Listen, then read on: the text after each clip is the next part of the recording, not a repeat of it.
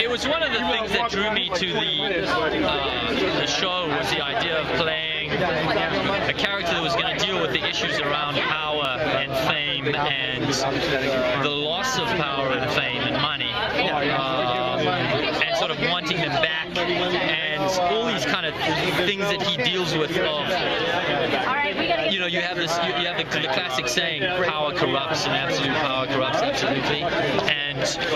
my guy in his heyday was a hero and all of that, but he definitely was somebody who abused the situation a bit and was very much like a rock star who got a little bit carried away with his power. And, you know, the groupies and the drugs and all that sort of thing went off the rails.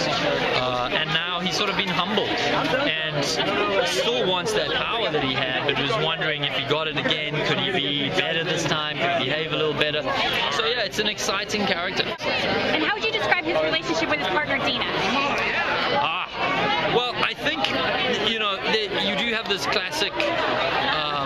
you know, buddy cop element, except I think Deena's the real cop and the real detective, and my guy's still more, you know, a rock star in his own mind, and sort of Deena's more like his assistant. this is so, from his point of view, and she she doesn't see it that way, but certainly when the series starts, um, he's uh, he's uh,